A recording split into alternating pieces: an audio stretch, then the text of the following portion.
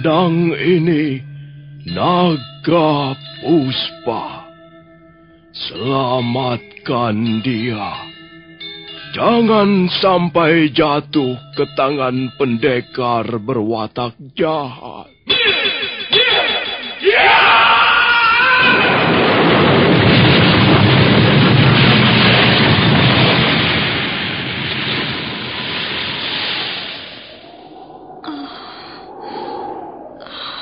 Kakang Kamandano, kau, kau masih juga tidak percaya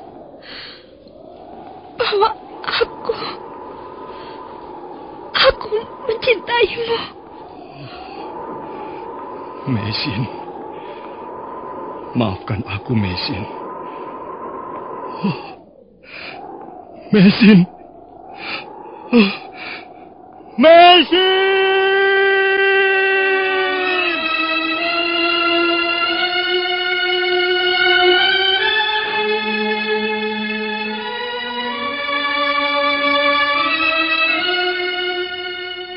Tutur Tinula.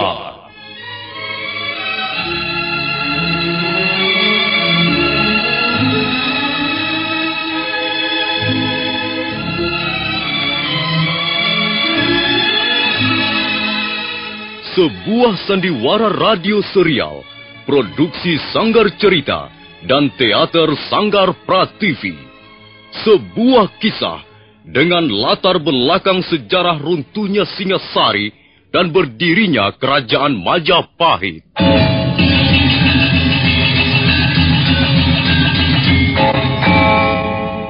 Sandiwara ini didukung oleh pemain-pemain radio yang sudah ternama. Ferry Fadli, Ivone Rose, dan Eli Ermawati.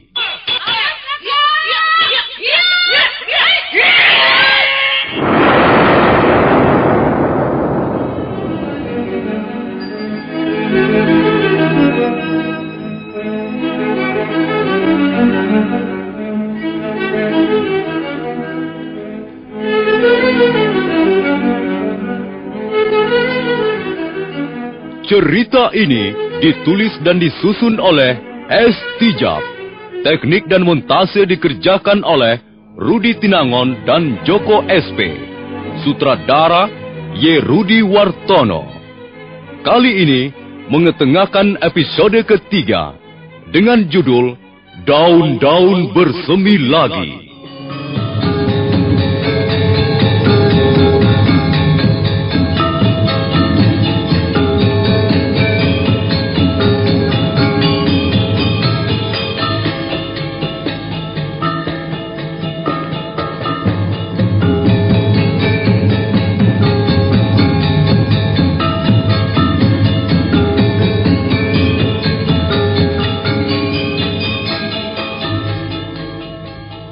Seri yang ke-64 ini didukung oleh para pemain.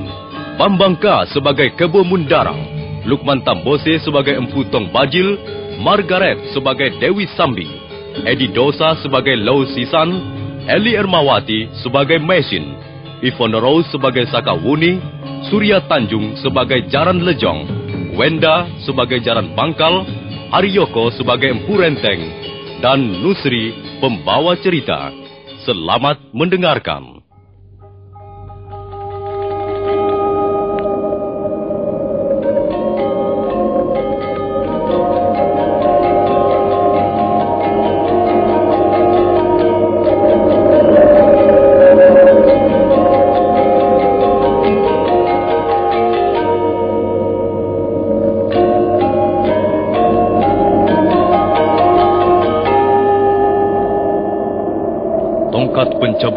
Adalah senjata andalan kepunyaan Putong Bajil.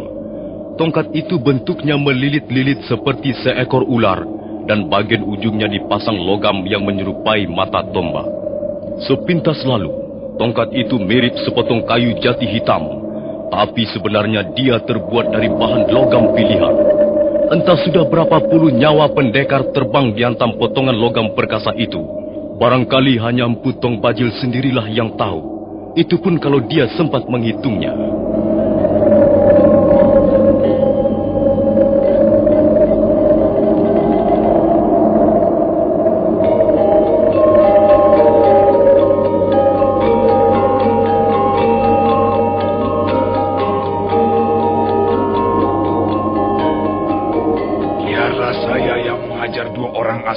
Tuanku. Baiklah.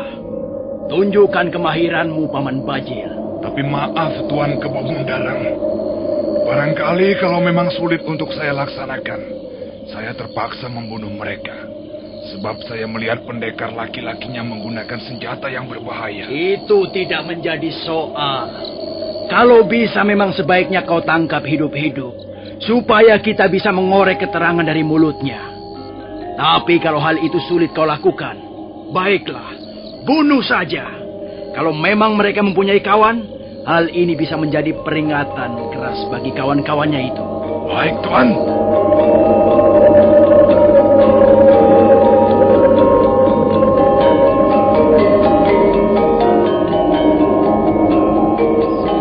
Eh, Mari pendekar asing.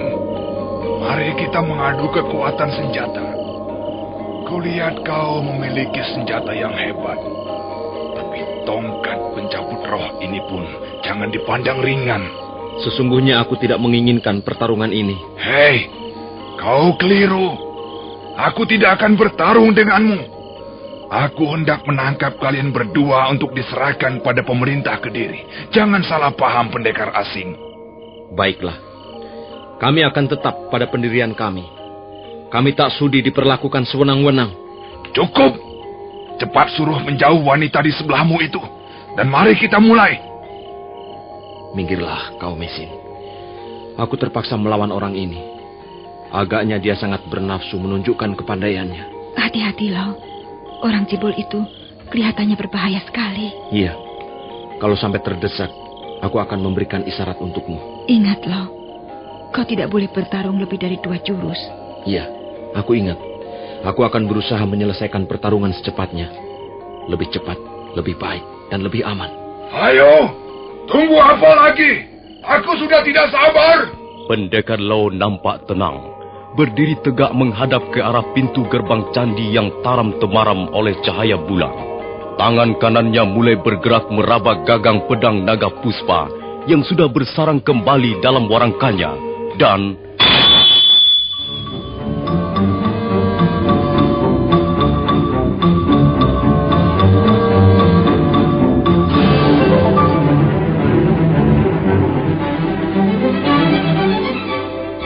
Empu Tong Bajil melompat selangkah ke belakang. Begitu melihat pedang naga puspa kembali keluar dari warangkanya, mulutnya terbuka keheranan. Oh, senjata apa yang digunakan orang itu? Bentuknya aneh dan ukurannya besar sekali. Tadi kulihat senjata itu membabat habis pedang dan tombak prajurit-prajurit kediri. Hmm, aku harus benar-benar waspada. Nah, aku sudah siap. Silahkan Tuan mulai. Bagus, bagus. Tahanlah seranganku yang pertama. Hejit!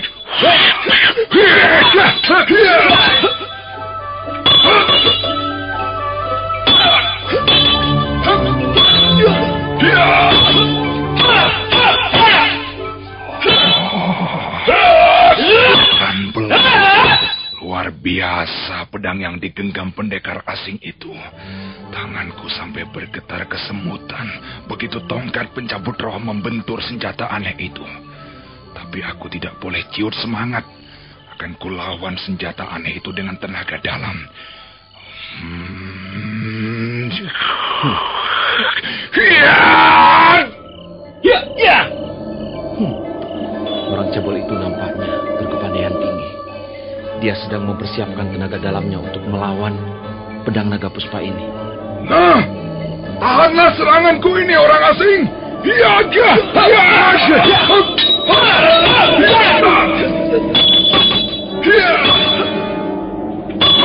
Putong Bajil terus memburu pendekar Lo dengan tusukan dan ayunan tongkat pencabut roh. Pendekar Lo hampir saja tak mempunyai kesempatan untuk membendung serangan-serangan gencar lawannya. Mendadak terasa sesuatu bergolak dalam tubuh pedang naga puspa. Dan sesuatu itu kemudian mengalir deras sekali melalui urat-urat telapak tangannya dan menyebar ke seluruh tubuh. Ya. Nampaknya Roh sudah mulai tersedot tenaga dalamnya oleh naga puspa. Kalau dia tidak segera menyudahi pertarungan, dia akan celaka. Cepatlah! Cepat selesaikan! Cepatlah! Kurang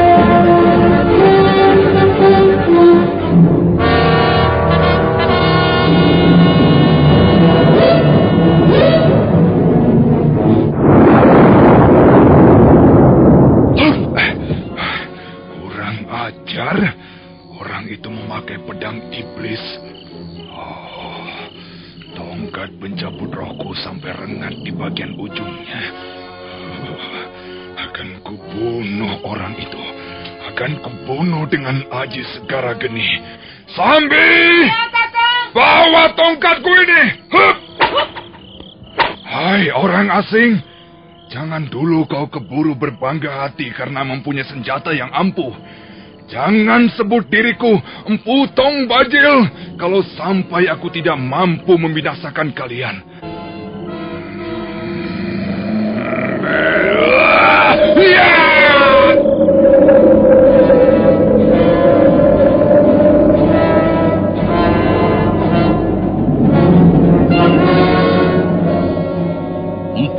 Bajil mendengus keras sambil melompat mundur sejauh tiga batang tombak. Kemudian kedua belah tangannya berputar tujuh kali di atas kepalanya dan akhirnya berhenti bersidakap di depan dadanya. Itulah pertanda pendekar lereng Gunung Tengger itu mempersiapkan ilmunya yang bernama Aji Segara Geni. Ilmu itu terkenal dasar. Dalam lakon pewayangan ilmu ini dikenal dengan sebutan lebur seketi. Barang siapa sampai terkena pukulan Aji Segara Geni, maka jangan harap orang itu dapat dipungut dalam keadaan utuh mayatnya. Dia pasti akan hancur berkeping-keping dan mayatnya akan kering kerontang seperti alang-alang dimakan api. Melihat Empu Tong Bajil yang berdiri tegak di atas kakinya dan matanya menatap tajam, Mesin buru-buru melompat dan menggamit lengan suaminya.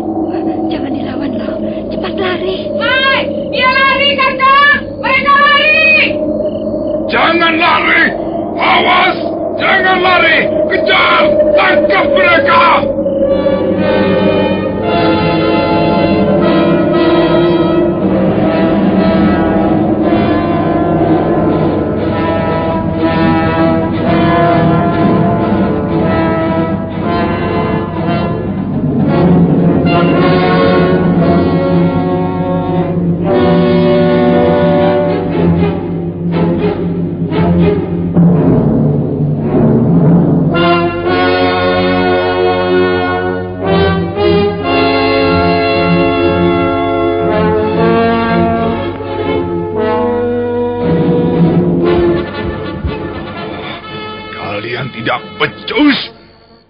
Jaran lejong, jaran bangkal. Mengapa kalian diam saja? Hah? Oh, maafkan Tuan Kebomundarang. Ini kesalahan saya. Seharusnya saya lebih cepat bertindak. Ya, memang sayang sekali. Mengapa mereka bisa kabur begitu saja? Jumlah kita banyak, dan tempat ini dijaga ketat. Tapi semua gagal menangkap dua orang asing itu. Maafkan kami, Tuan Kebomundarang. Kami berjanji akan menebus kesalahan dan keteledoran kami. Dua orang asing itu pasti akan dapat kami ringkus dan kami serahkan ke tangan Tuan Kebomundarang. Ya, persoalan kedua orang asing itu, kuserahkan pada Paman Bajil. Tapi tunggu. Hmm, barangkali kau bisa membantu kami, Sakawuni. Membantu bagaimana, Tuan? Apakah Tuan akan menugaskan saya untuk memburu dua orang asing itu? Apakah kau keberatan, anak manis? Hmm, sama sekali tidak. Tapi tugas ini cukup berat. Kalau salah perhitungan, kita sendiri yang akan mampus. Karena itu, kalau Tuan menugaskan saya, saya minta beberapa orang untuk membantu perburuan ini. Ah, itu soal kecil. Berapa orang prajurit kau butuhkan? Saya tidak membutuhkan prajurit. Saya butuh jaran lejong dan jaran bangkal untuk menemani saya di perjalanan. Eh, eh, t- tapi, tapi, Tapi apa Jaran Lejong? Eh, Kau harus menurut. Ingat, Tuan Kebomundarang sudah mengangkat Sakawuni sebagai salah seorang di antara empat besar. Apa kau keberatan, Jaran Nejong? eh, eh, ti- ti- tidak Tuan. Tapi biasanya saya bertugas mengawal Tuan Empu Tong Bajil. Kali ini kau tidak usah mengiringi aku. Kau temani saja gadis itu di jalan. Nah, pertemuan ini rasanya sudah tidak bisa kita teruskan lagi. Karena itu, aku bubarkan saja. Aku akan kembali ke Kediri besok pagi. Dan mengenai dua orang asing itu, kuserahkan pada Paman Bajil dan kawan-kawannya.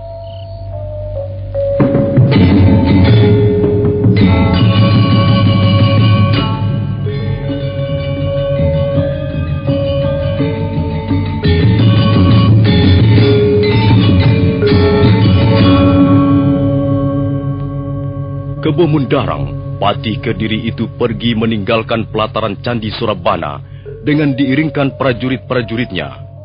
Kemudian para pendekar, baik yang sempat turun ke gelanggang maupun yang belum, satu persatu pergi. Dan tak lama kemudian, suasana pelataran Candi Surabana menjadi sepi dan lengang. Cahaya obor dari minyak jarak masih berkibaran di terpa angin malam yang turun dari lereng gunung Anjasmara. Sementara di atas langit, bulan purnama masih bersinar terang benderang. Cahayanya yang lembut bagaikan membelai pucuk-pucuk pohon cemara dewa. Hanya tinggal tiga orang masih tetap duduk di atas lempengan batu di pelataran Candi Surabana. Mereka adalah Empu Tong Bajil, Dewi Sambi, dan Empu Renteng.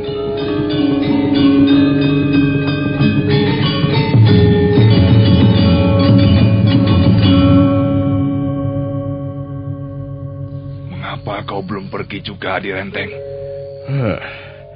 Aku masih berpikir-pikir.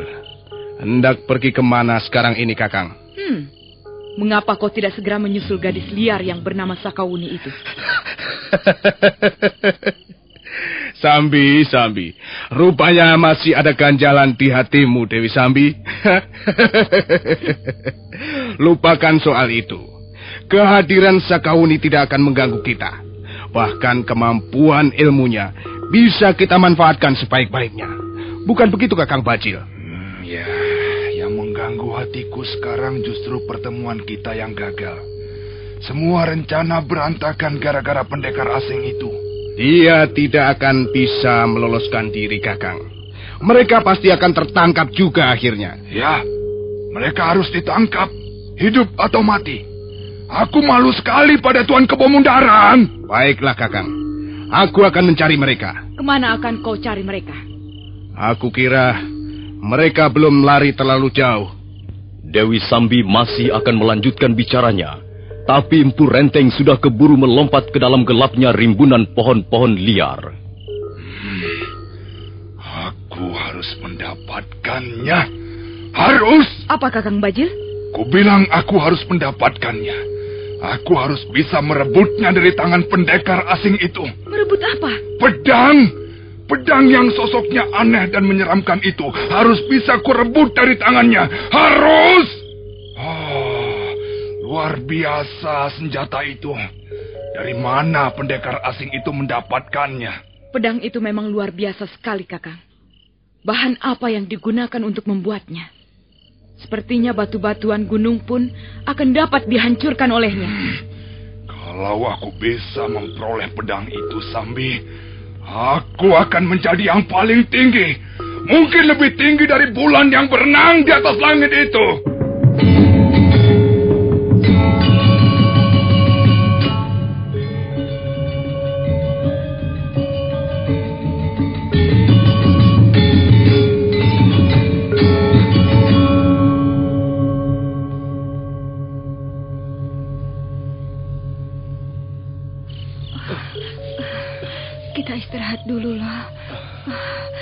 Nafasku, nafasku hampir putus rasanya. Tapi jangan, Mei.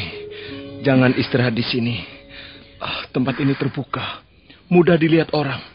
Ah, sebaiknya kita terus saja, Mei. Tapi, tapi kakiku seperti kejang. Tidak bisa digerakkan loh. Baiklah. Eh, biar kau kugendong saja. Mari, naiklah ke atas punggungku. Eh, Ayo. Jangan loh. Nanti kau terlalu capek. Ah, tapi ah, kita jangan berhenti di tempat ini. Berbahaya sekali, Mei. Hah? Kau dengar itu, Mei? Percaya tidak? Karena itu kita harus mencari tempat yang tersembunyi dan benar-benar aman. Jangan di sini, Mesin. Ah, baiklah, mari kita jalan lagi. Tidak, uh, aku tidak usah digendong. Uh, loh, aku bisa jalan sendiri. Tapi jangan terlalu cepat jalannya. Rasanya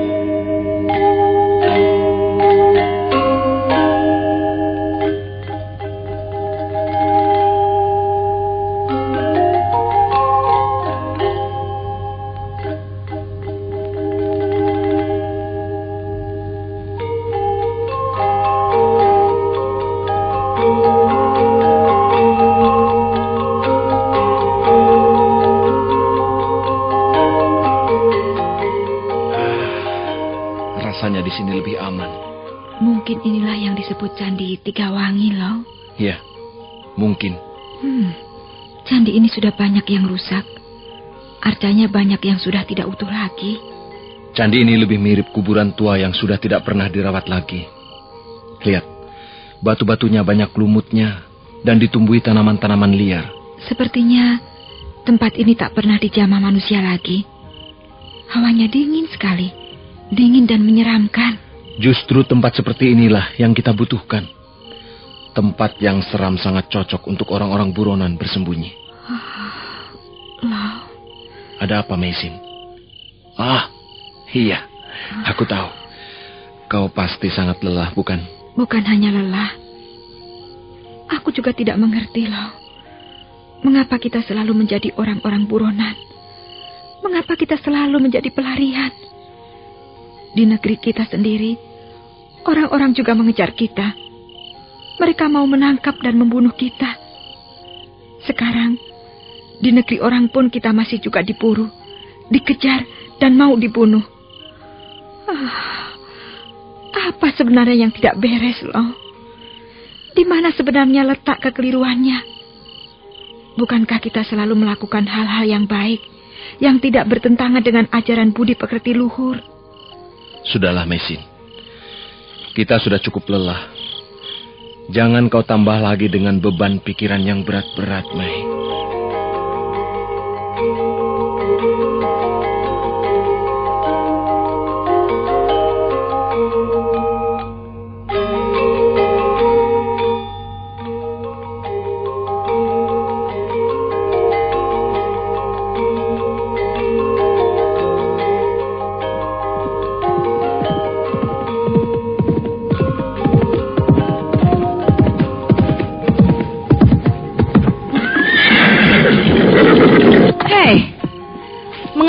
Turun dari kuda? Kami tak sudi mengikuti perintahmu. Kami tak sudi bertugas bersama seorang perempuan. Kenapa? Apa salahnya kalian pergi bersamaku? Apakah wajahku seperti burung hantu? Eh, gadis liar. Pergilah mencari burunan itu sendiri. Dan kalian? Kami tentu saja akan pergi berdua saja. Kami tidak senang diatur perempuan. Kalau begitu, kalian mau membantah pimpinan kalian sendiri. Kalian tidak takut akibatnya? Gadis sinting. Cepat pergi. Kami tak sudi tunduk pada perintah-perintahmu. Kalian ini pendekar-pendekar berjiwa pengecut. Kalian picik dan tidak satria. Baik. Aku pun tak sudi mempunyai anak buah seperti kalian. Tikus-tikus pengecut. Apa? Kami anak buahmu? Cis! Sejak kapan kami menjadi anak buahmu? Hah? Tentu saja sejak kalian berdua dapat kukalahkan. Hei, kau jangan sembarangan bicara. Hah. Kami berdua belum pernah kau kalahkan. Bagaimana? Kalau sekarang kalian berdua mengakui kalah di depanku? Buat. Hah? Kau sombong benar. Kalau kau mampu mengimbangi ilmu macan kombang, kebu kluyur, dan julung wangi, belum berarti kau mempunyai tingkat kepandaian di atas kami, ha? Hayo, turun kau dari atas kudamu. Kalau kau dapat membuat kami bertekuk lutut, maka kami akan mengaku kalah. Dan kau boleh memerintah sesuka hatimu atas diri kami.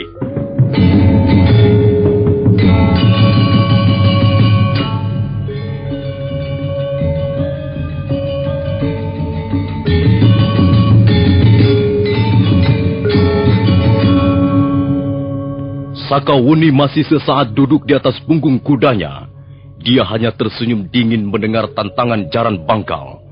Kemudian gadis berwajah manis itu turun dari kuda dengan tenang. Sementara itu Jaran Lejong dan Jaran Bangkal telah menunggu dengan kuda-kudanya. Nah, para pendengar sekalian, bagaimana kisah selanjutnya? Silakan mendengar seri berikut. Sampai jumpa.